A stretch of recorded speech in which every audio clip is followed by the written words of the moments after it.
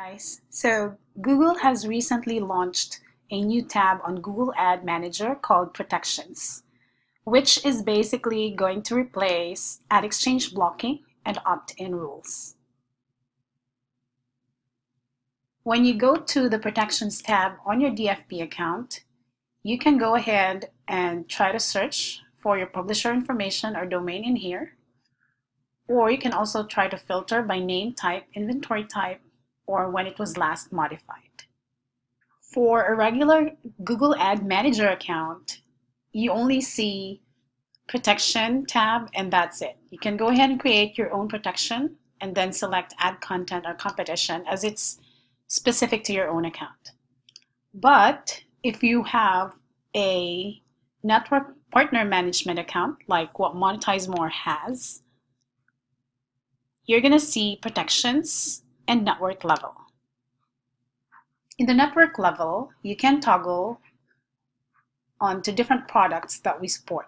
Display, mobile app, video, or games.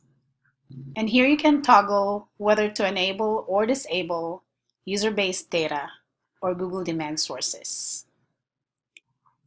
When you go to the Protections tab, you can search for your publisher information in here. So let's say, for example, that and the pre-existing blocks or opt-ins will automatically be displayed or you will have a summary in here. To modify the columns by clicking on this icon right here and select the corresponding columns you'd like to display and then click on apply. And now let's go ahead and try to create a new protection. Click on new protection and you have two options, ad content or competition. Let's do competition first. You can give your protection a name. You can do your domain name or the publisher's domain, underscore, and whatever the purpose of this protection is. This is arbitrary, so you can give it a name however you like. Next is targeting. You can select which inventory you would wish to protect. So let's say you want to protect all of the inventory or you want to protect specified inventory. I would suggest selecting specified inventory if you're not doing it for the entire account. If it's just for a specific publisher you're managing, then you have to select this. And if you notice under the inventory tab, if you don't specify targeting, it will target all inventory running under this account. So click on it to expand. And you have the option to either target ad units or placements.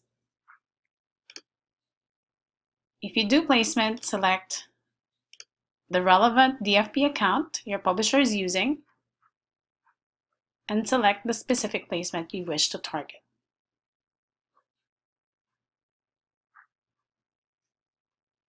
Competition block allows you to prevent similar advertisers from serving at the same time on the same page load.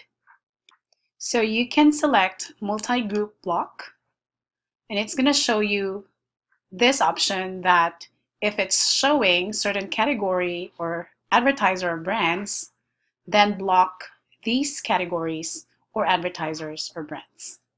Now try, let's go ahead and try. Let's say I untick that. You can just go ahead straightforward block certain categories, advertisers or brand. But if you select or tick this one, that will show you that option. So let's say I want a category that if it's showing business and industrial category, if you want to drill down further, you can go ahead and click that to expand. I want to block a specific advertiser. Let's say Chase. So this means for the selected inventory that I have specified in here, if it's showing a category or an ad under the category business and industrial, do not serve JP Morgan Chase. because I have specified that I want it blocked. Then go ahead and save it. Now let's go back to the main protections page. Here, you can also toggle on the status or filter by status. You can say, I want to see all the inactive ones and click on apply or only the active ones. Now let's try to create a new protection, ad content. Just the same, you can give your protection a name. Next is you can select the inventory type you'd like to target, if it's for display, app, video, or games. Let's select display for this tutorial. For the targeting, you also specify if you, if you wanted to protect the entire inventory or all the publishers running under this account, or to only target specific inventory. I would suggest selecting the second option in order for you to pinpoint or target your publisher's inventory, unless you're creating this protection for the entire account. Next, select Add Targeting. And here you can target or select different options depending on the inventory you'd like to specify or target. Let's say I want this on a specific inventory. Expand it.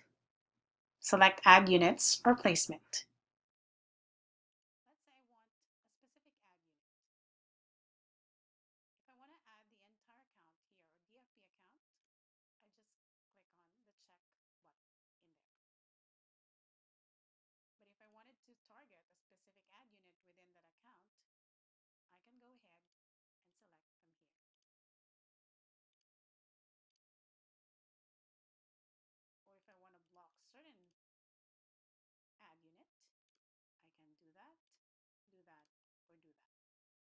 So it applies across all the inventory except these guys right here. So for now, let's try to select specific ad units. All right, now you have the options for blocks and opt-ins. So you can go ahead and specify your specific or the specific category here that you wanted to block. So let's say I want this blocked, this and this then you can say update. And then I also want to block specific advertiser URLs. And this is where you specify them and say add and click on update. And here you can opt in to specific ad technologies or restricted categories. It's still showing disabled as of now as it's fairly new and the fully unified protections are still under development. So currently each protection can only contain one ad manager exclusion. The only groups allowed are groups of ad exchange blocks or opt-ins. All right, then just go ahead and save once you're done. That's it for today. Thanks for joining us. Don't forget to subscribe to our YouTube channel and to subscribe to our blog to learn to monetize more. Hope to see you here again soon. Bye for now.